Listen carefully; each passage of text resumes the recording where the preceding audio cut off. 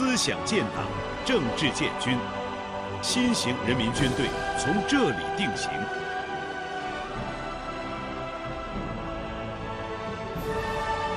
力挽狂澜，永放光芒，强军新征程从这里开启。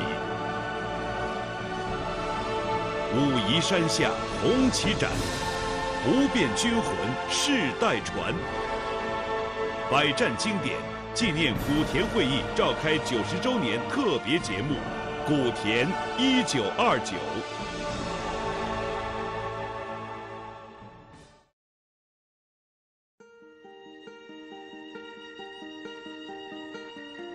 在福建省西部的大山深处，有一座古镇，它位于新罗、上杭、连城三地结合处，连接江西，直通广州。这里冬无严寒，夏无酷暑，湍急的溪流与峻拔的峡谷纵横交错，自然资源极为丰富。这里就是古田。每年有超过三百万的游客到此参观瞻仰，被誉为中国革命里程碑、人民军队军魂诞生地。一九二九年十二月二十八日，中国共产党红四军第九次代表大会在古田镇召开，史称古田会议。会议通过的由毛泽东起草的决议。为这支刚刚诞生两年多的人民军队指明了发展方向，成为中国共产党建军纲领。古田成为中国共产党确立思想建党、政治建军原则的地方，成为新型人民军队定型的地方。这个原本默默无闻的闽西小镇，由此飞升中外。古田会议。在我党我军的历史上，具有里程碑式的意义。这次会议呢，通过的决议将马克思主义关于建设无产阶级军队的理论和党的建军实践相结合，总结了中国工农红军创建以来的建军经验，指出了红四军党内存在的单纯军事观点。和极端民主化等八项错误思想产生的原因、危害，以及呢，在党的建设、政治工作、官兵关系、军政关系等方面存在的问题，提出了纠正或加强的方法，确立了红军的性质、宗旨和任务。中国共产党对红军绝对领导、红军中政治机关和政治工作的地位、红军处理内外关系的准则等建军根本原则，一个党和红军建设的纲领性文献就此诞生了。党对军队绝对领导这一永远不变的军魂，至此铸就。一九二七年，对于刚刚成立六年的中国共产党而言，可谓是血雨腥风。四月十二日，蒋介石在上海发动反革命政变，疯狂屠杀共产党人和革命群众，清党随即在全国展开。摆在中国共产党人面前的只剩下两个选择：屈服还是反抗。一九二七年，蒋介石和汪精卫先后背叛革命，向中国共产党举起了屠刀。轰轰烈烈的大革命就此失败。从一九二七年三月到一九二八年上半年，有超过三十一万的共产党员和革命群众遭到屠杀。正是这样血的教训，使得共产党人认识到：不创建一支新型的人民军队，不开展武装斗争。中国共产党就不可能完成自己的崇高理想，就不可能完成改变中国命运的历史重任。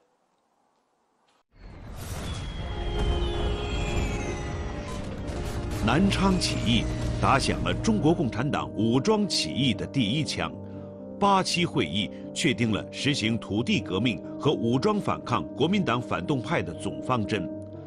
毛泽东随后领导湘赣边界秋收起义，中国共产党自此开始了独立领导武装斗争和创建人民军队的伟大实践，掀起了翻天覆地的红色狂飙。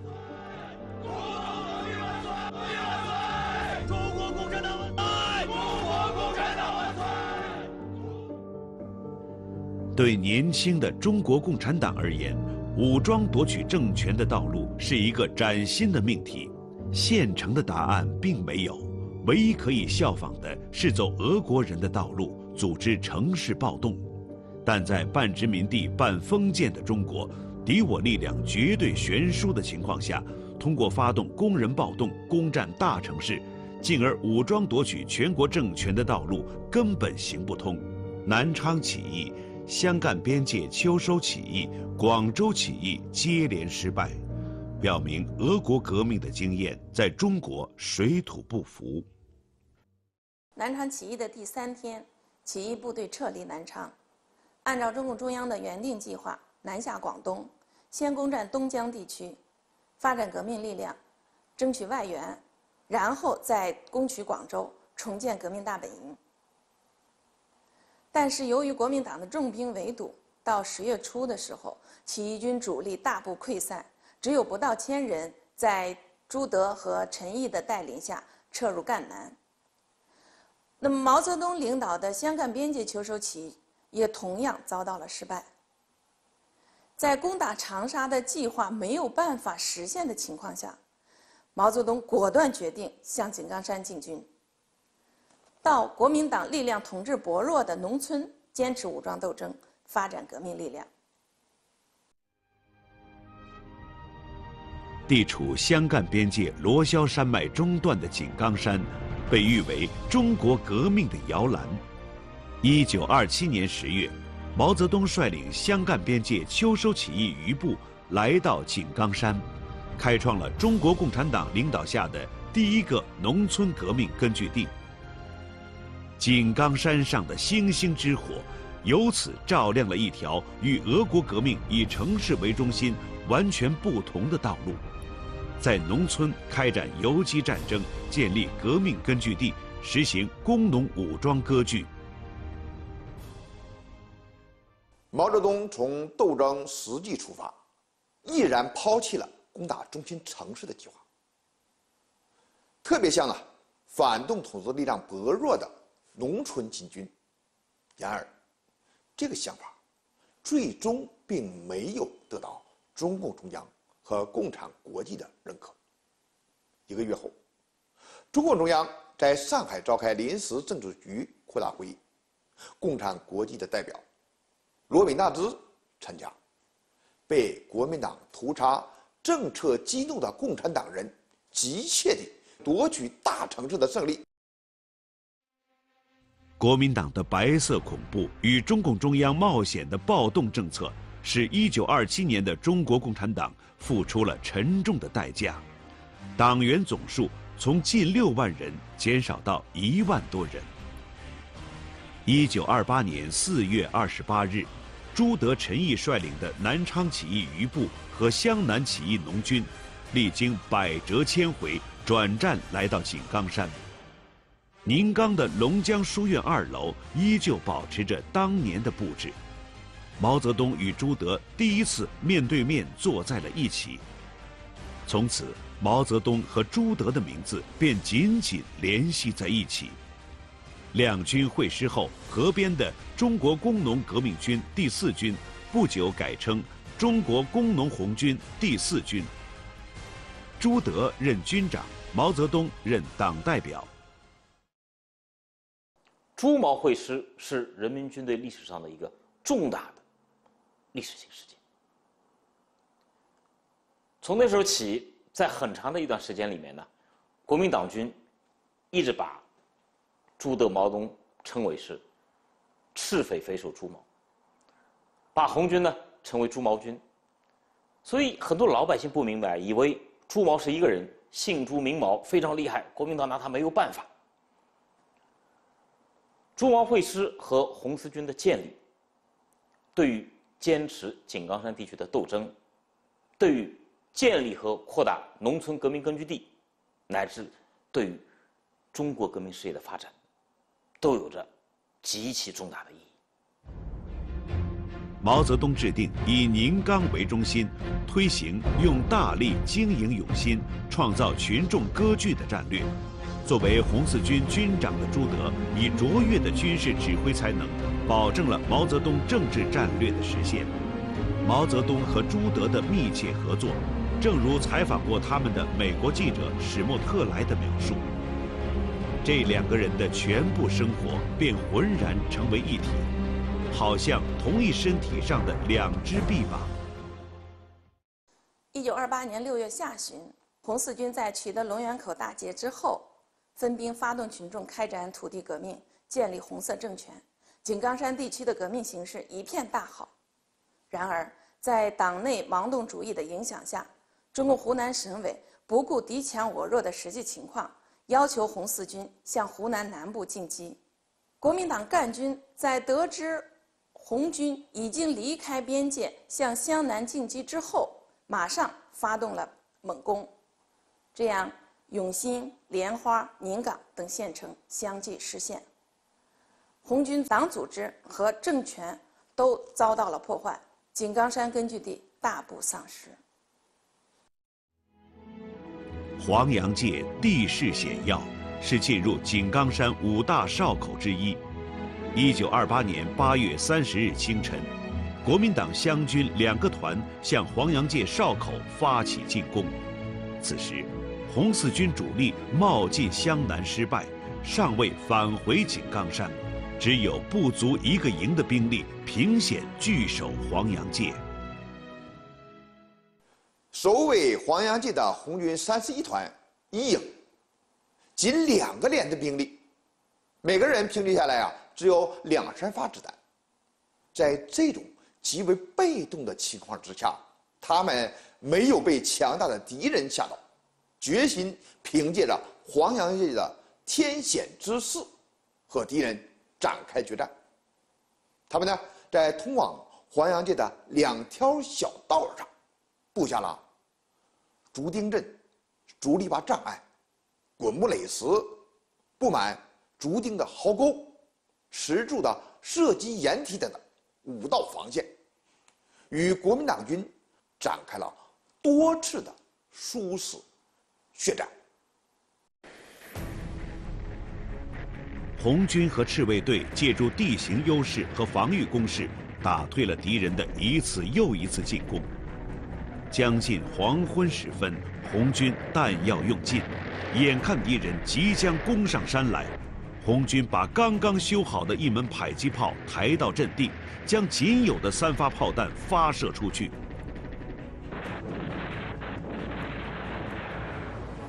忽见红军有大炮轰击，国民党湘军以为红军主力已返回井冈山，吓得魂飞胆丧。当夜在云雾弥漫之下，敌军全部逃之夭夭。国民党军打仗啊！如果是几路部队协同作战，他们都有一个小算盘，因为他们最看重的是自己的实力。打仗的时候呢，希望自己保存实力啊，让自己的这个队友啊多付出点牺牲。国民党的赣军呢，原来是准备经过茅坪进攻黄洋界的，结果刚走到半道，消息传过来，说湘军已经失败了。这下好，这些赣军呢扭头就跑，马上就退到永兴去了。这样呢，我们就以不到一个营的兵力取得了黄洋界保卫战的大捷。毛泽东是在回师井冈的途中接到这个捷报的啊，非常高兴，马上呢挥毫，天子一阙，就是著名的《西江月·井冈山》：“山下旌旗在望，山头鼓角相闻，敌军围困万千重，我自岿然不动。早已森严壁垒。”更加众志成城。黄杨介绍，炮声隆，报道敌军消遁。你看，那么多年以后，我们再读这首词，还是可以体会到里面的多么的豪迈。我们人民军队敢于压倒一切敌人，而绝不被任何敌人所屈服的这种精神，实际上呢，在当年已经蔚然成形。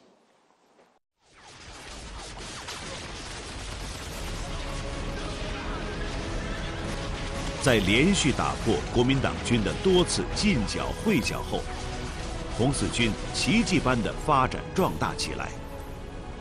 以宁冈为大本营的井冈山工农武装割据，也显示出勃勃生机。至1928年11月，形成了南自遂川的井冈山南路，北至莲花边界，包括宁冈全县、遂川、陵县。永新各一部的革命根据地，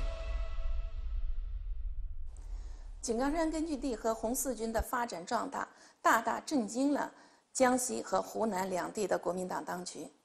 他们以为八月失败，朱毛红军已经被消灭，至少不能成为大患。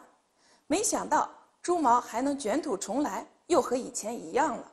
于是，剿灭朱毛，打破井冈。就成为江西和湖南两地国民党的共同需要。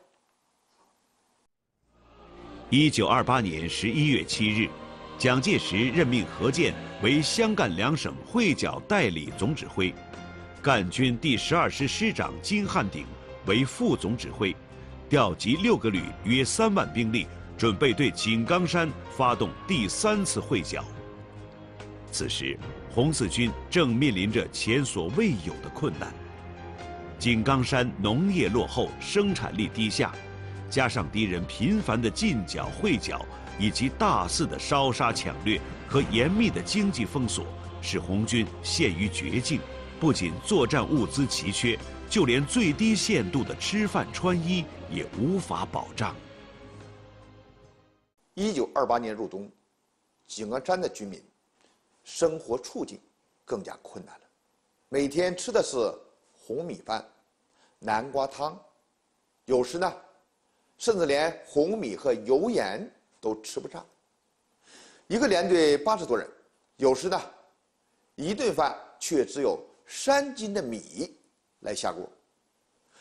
为了解解决啊眼前的这种吃饭问题呢，储备一定的粮食，红军掀起了挑粮运动。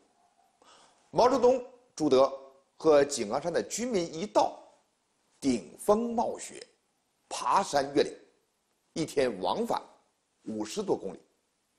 从宁冈挑粮上井冈山，当时呢已经年过四十的朱德，也常常和战士们一起去挑粮。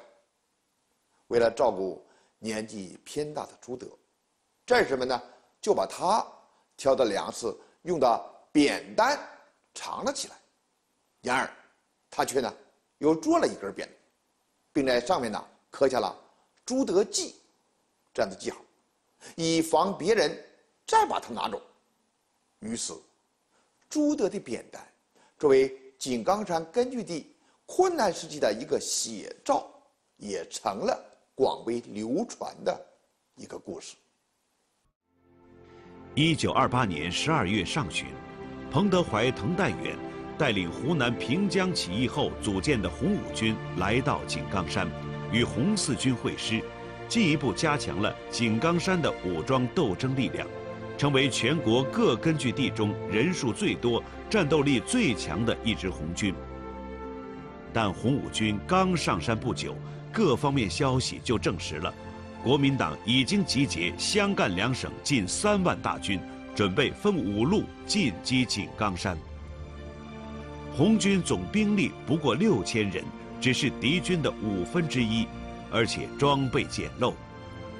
一九二九年一月四日，毛泽东在宁冈县百鹿村主持召开中共红四军前委、湘赣边界特委、红四军军委、红五军军委联席会议，讨论应敌策略。这个会啊，开了整整四天。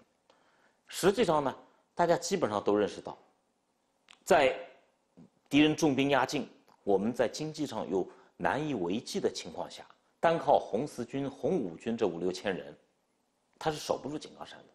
那么经过反复讨论研究以后呢，就决定采取攻势的防御方针。怎么做呢？就是让彭德怀、滕太元率领三十团、三十二团留守井冈山，毛泽东和朱德呢率领二十八团、三十一团和军直属队出击赣南。这个在兵法上就叫围魏救赵，目的是想使敌人呢首尾难以相顾，这样呢来解井冈之围。啊，粉碎敌人的会剿计划。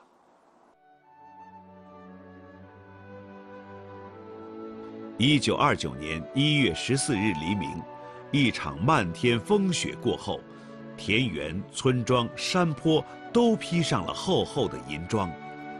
毛泽东、朱德率领红四军主力三千六百余人，从井冈山的茨坪和小兴州出发。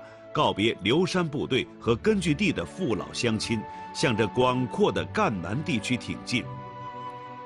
红军出发不久，国民党军就发现了他们的意图，立刻调整部署，以湘军为主力的第二、第三、第四路进攻井冈山，以赣军第二十一旅李文斌部、第十五旅刘士义部等四个旅对红四军轮番追击堵截。红军原先拟定的积极主动的游击战，成为了被动挨打的突围战。由于沿途为粤赣两省边界，处于无党无群众的地方，再加上国民党反动派的造谣宣传，红军在当地的影响又比较小，群众大部分都逃到山里面去了，这样就使得红军的行军、宿营和侦察工作都十分的困难。红军只能是边走边打，伤亡不断的增加。这种情况在几十年之后，陈毅在接受采访的时候曾经提到过。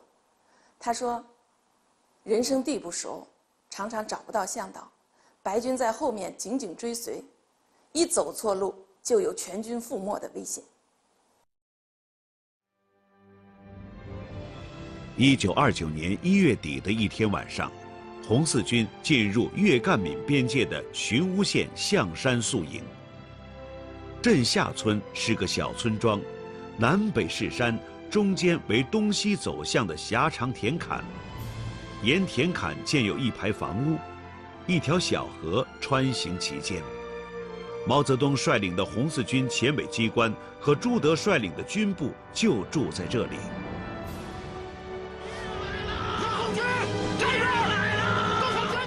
第二天凌晨，突然枪声四起，国民党军包围了镇下村。混乱中，毛泽东带着机关的同志撤了出来，朱德却走散了。他身边仅有的五名冲锋枪手跟随。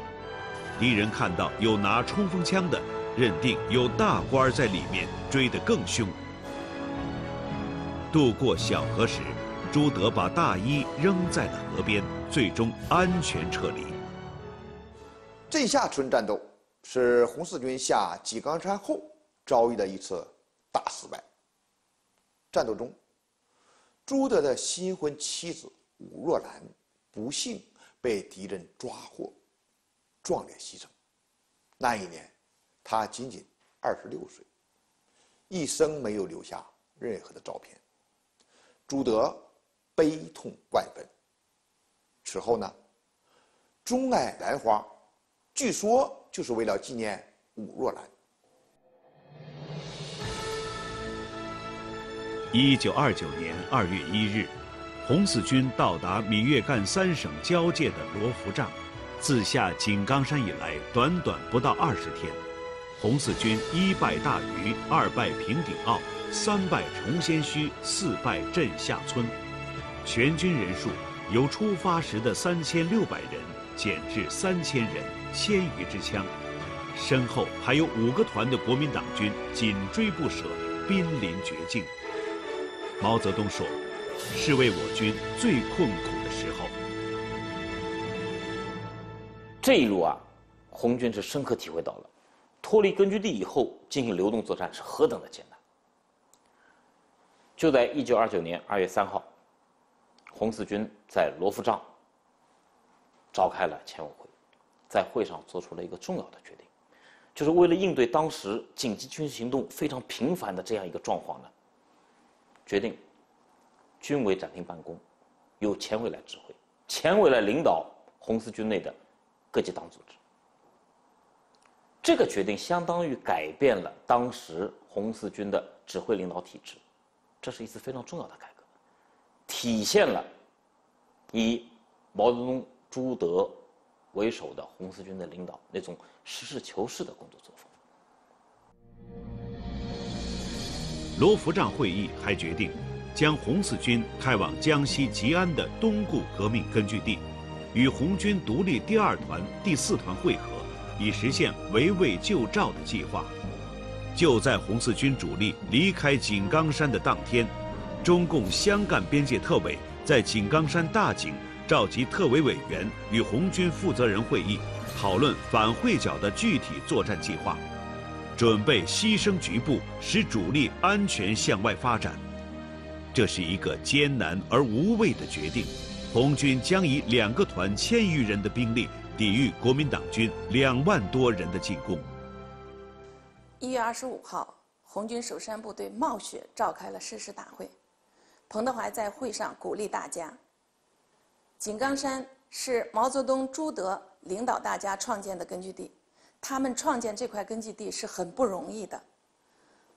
我们要守卫这块根据地也是很光荣的。我们一定要想尽各种办法克服困难，守住井冈山。”面对国民党军占尽绝对优势的兵力和火力，守卫井冈山的红军部队尽管英勇奋战、视死如归、凭险据守，但是奋战到一月三十号，井冈山还是全部失守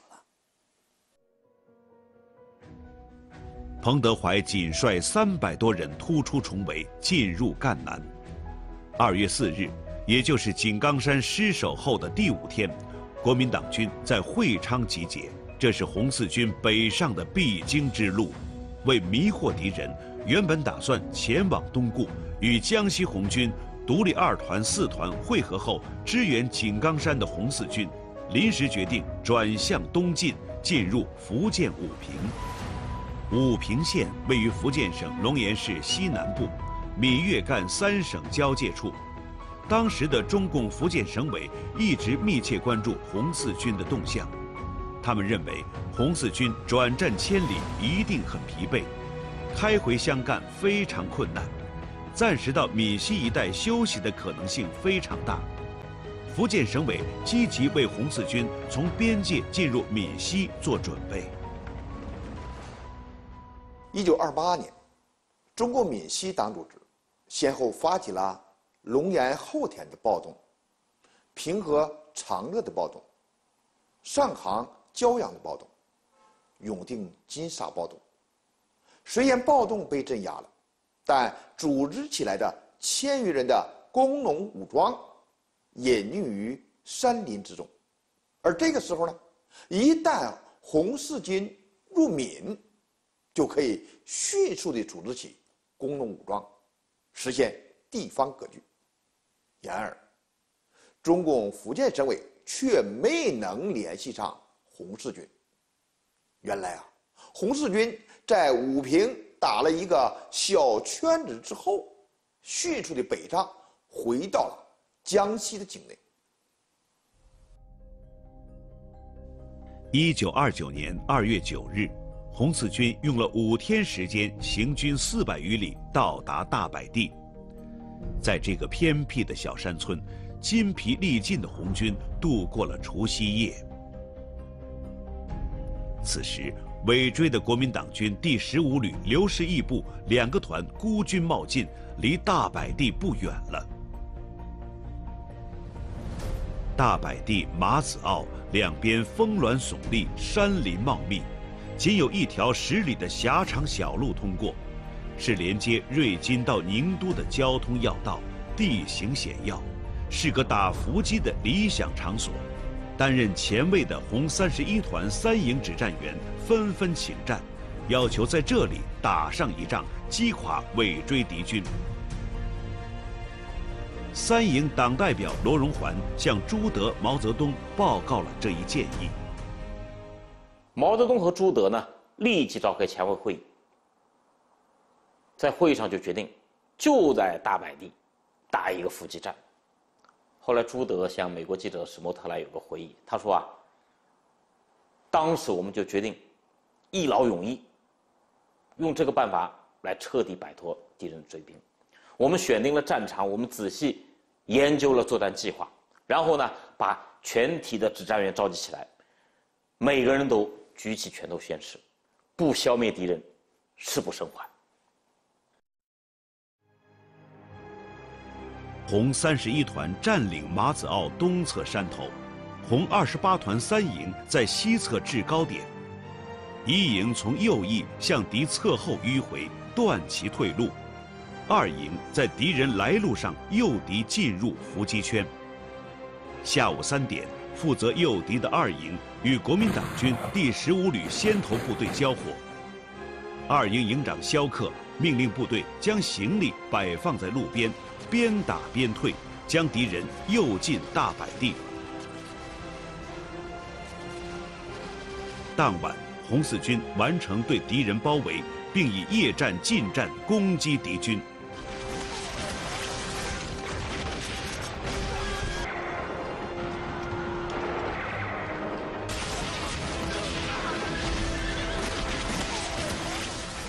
这是红四军主力下井冈山之后的关键一仗。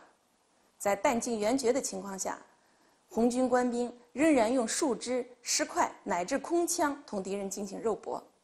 受伤倒地的战士挣扎着站起来，再次向敌人扑去。朱德带队冲在前面，就连平时很少摸枪的毛泽东也提着枪，带着警卫排向敌军发起冲锋。战斗持续到第二天中午，国民党军第十五旅二十九团和三十团大部被消灭，俘虏八百余人。大柏地之战是红四军下井冈山以来的首次胜仗。这场悲壮而光荣的反击战，改变了朱毛红军自井冈山出发以来近一个月令人沮丧的失败态势。自此以后，朱毛红军捷报频传。开启了新的征程。陈毅说：“这场战斗是在血泊中挣扎，使获最后胜利，为红军成立以来最有荣誉之战争。”一九三三年的夏天，担任中华苏维埃共和国中央临时政府主席的毛泽东重返大柏地战场，写下了《菩萨蛮》。大白地，说道：“赤橙黄绿青蓝紫，水紫彩炼当空舞。雨后复斜阳，关山阵阵苍。当年鏖战急，弹动前春碧。庄严此关山，今朝更好看。”东固地处井冈山东北大约二百多公里的一片丛山之中。一九二九年二月十七日，红四军抵达这里。一个星期以后，他们得到一个情报：井冈山已经失守，彭德怀率部突围下山，目前下落不明。另一个坏消息接踵而来：赣军主力李文斌旅三个团正向东固逼近。其他敌军也对东固取包围之势。红四军主力出击赣南，原本就是为了解井冈山之围，但如今井冈山既失，红四军已无家可归，而强敌逼近，坚守东固也无胜券。红四军又该何去何从？必须重新考虑下一步的战略方向。当时红四军。如果在东固这个地方坚守，那么这块苦心经营起来的秘密根据地就有可能遭到严重的摧残，所以要离开。前委决定避实击虚，转向敌人统治力量薄弱的赣南闽西交界之地，采取变定布居的游击政策，也就是打圈子政策，以对付敌人的跟踪穷追。二月二十五日，经过宝贵的八天休整，这支只有一半人背着步枪，另一半人手里握着梭镖和大刀的队伍离开东固，再次出发。红四军的作战方式变得更加灵活和飘忽不定，先是向东北方向经永丰、乐安县的藤田、招协，转而南下广昌、石城。经宁都折回瑞金仁田，拖着追敌，在赣南打了二三百公里的圈子后，红四军于三月十日突然转向，沿闽赣交界的木山岭，经过牛犊坪，以日行百里的急行速度进入闽西。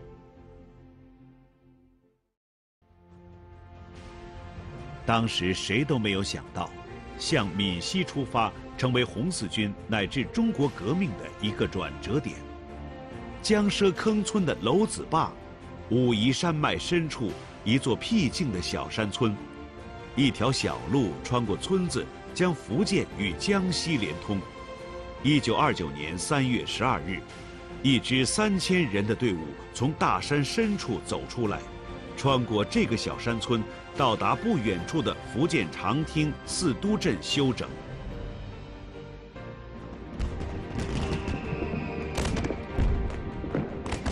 农历的新年刚过，乡村的人们聚集在墟场上舞龙，庆祝春耕的到来。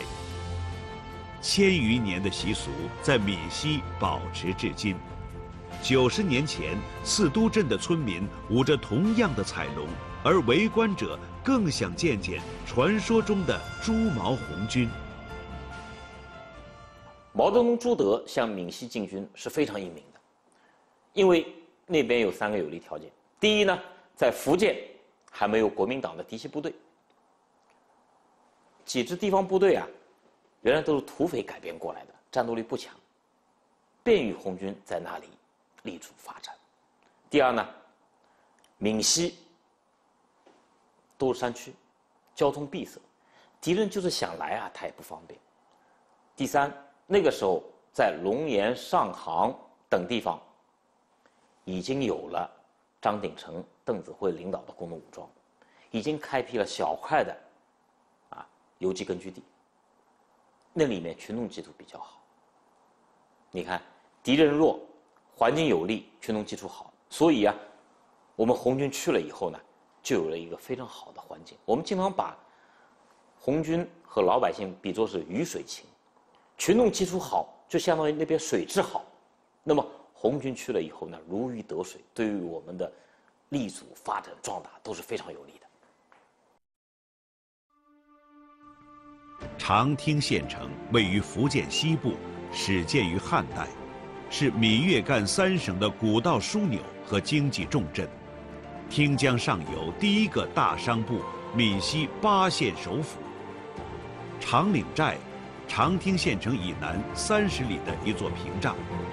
土匪出身的国民党福建省防军第二混战旅中将旅长郭凤鸣，亲率主力在这里凭险据守，准备阻击红四军进入长汀。一九二九年三月十四日，红四军主力分三路向长岭寨发起总攻，红二十八团和红三十一团分别主攻长岭寨主峰，透营。迂回敌后，占领长岭寨以北的乌石岭，切断敌人退路。在地方党组织的配合下，红四军经过半天激战，歼敌两千余人，击毙郭凤鸣，并乘胜占领了长汀城。当地群众听说红军打死了郭凤鸣，纷纷拥到街上观看。后来，他们把他捆在梯子上，抬到汀州城最高的城门楼示众了三天。百姓万众欢呼，感谢红军为他们除了一大祸害。红四军入闽首战告捷，消灭郭凤鸣旅，攻占长汀城，揭开了创建闽西革命根据地的序幕。红四军发动群众打土豪筹款，没收地主劣绅的财物，不到十天便筹措军饷三万元。对于红四军而言，无疑是雪中送炭。全军官兵每人都分到了五块大洋的零用钱。这时的红四军成立已有一年，但还没有统一的正规军装，都还穿着自己编的草鞋，有些人头上还缠着山区农民五颜六色的头巾。占领长汀后，红四军还接收了郭凤鸣创办的一家军服厂，十二台缝纫机为红军赶制了四千套军装。红军创建后的第一款正式军服，它是仿照苏联红军的军装和列宁戴过的八角帽式样进行缝制的。然后呢，在军衣领子上缝上了两块红布领章，八角帽前缝上了五角星。朱德后来回忆说，新军装的颜色是灰蓝色的，每一套有一副裹脚和一顶。带有红星的军帽，它没有外国军装那么漂亮，但对于我们来说，可真是奇好无比了。在今天的长汀县卧龙山下，有一座西式庭院，名为福音医院，它是长汀的教会医院。朱德在医院会见了院长傅连璋，并采纳了他的建议，在红军中普遍接种牛痘。防止天花蔓延。红军第一次有了正规的医疗护理，后来傅连璋率领医院中许多医护人员参加了红军，连同设备迁往中央苏区，改名为中央红色医院。红军在长汀做了几件大事，第一呢，进行广泛深入的宣传。你看，当时我们发了好几种文告啊，告绿林兄弟书。告商人及知识分子，敬告士兵群众。你看，针对不同的对象进行宣传，宣传我们的主张和政策，让群众了解我们。第二个呢，帮助长宁县秘密发展党员，而且建立了二十个秘密农民协会，建立了五个工会，还建立了一个总工会，召开长汀县的各界群众的这个代表会议，选举成立了。长汀县的革命委员会，这样呢，我们就建立了闽西的第一个红色政权。第三件事也很重要，就是扩红，有一千多个闽西农民加入了红军，这是第一批闽西的红军战士。这样红军队伍就发展壮大了。我们把整个部队呢整编成三个中队。红四军司令部和政治部设立在一座客家风格的大院。新耕别墅，毛泽东、朱德分别住在大厅左右房间。三月二十日，红四军前敌委员会扩大会议在新耕别墅召开。毛泽东对于今后红军的战略方向有了新的计划，他开始考虑由重返井冈山改变为开辟赣南闽西，在更大范围的地域创建工农武装割据。这是一个重大的战略转变。此时，毛泽东的视野已经从一个地区、一个省拓展到了夺取全国革命胜利的高度。他在之前在井冈山提出的工农武装割据理论的基础上，对中国革命的特点和道路有了更深层次的认识。他提出来，在全国有条件的省份。大力创造小范围的苏维埃政权和红军。这个战略决策的实施，为以后创建中央革命根据地奠定了基础，也孕育着农村包围城市、武装夺取政权这条正确的中国革命道路的思想萌芽。红四军在长汀休整期间，蒋介石调集赣军，准备投入蒋桂战争。参加对湖南的争夺，造成赣南军力空虚。同时获悉，从井冈山突围的彭德怀部已经转战到达赣南。据此，红四军前委决定，全军迅速回师赣南。蒋桂战争爆发，全国形势发生了急剧的变化。按照毛泽东的理论，国民党新军阀内部的分裂和战争，便是共产党工农武装格局获得发展的重要时机。井冈山是毛泽东、朱德和他们的战友们心底永远的牵挂。在长汀做出的这一战略计划，是井冈山工农武装割据的延伸。一个跨越武夷山脉两侧更大的红色版图已经呼之欲出。一九二九年三月底，毛泽东与朱德率领红四军从长汀出发，这支队伍将在赣南闽西展开大规模行动，建立公开的工农武装割据，推进中国革命潮流的发展和全国苏维埃红色政权的创建。